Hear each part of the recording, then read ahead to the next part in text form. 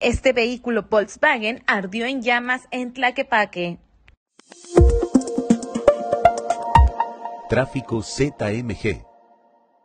Fue la mañana de este jueves cuando las líneas de emergencias comenzaron a recibir múltiples reportes sobre el avistamiento de un vehículo incendiado sobre Prolongación Colón, de tal manera que Protección Civil y bomberos de Tlaquepaque arribaron sobre esta avenida a su cruce con Comonfort, localizando un vehículo Volkswagen conocido como un bocho.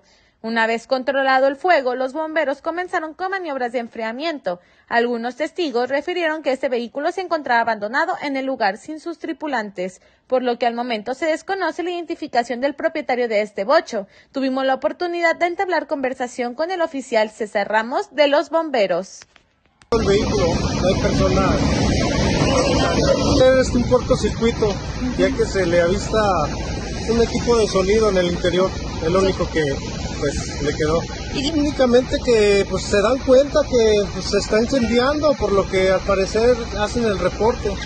Debido a que este siniestro se suscitó sobre la vialidad, llegó a generar caos vial, debido a los vehículos que venían circulando hacia el alto para observar cómo había quedado calcinado este vehículo.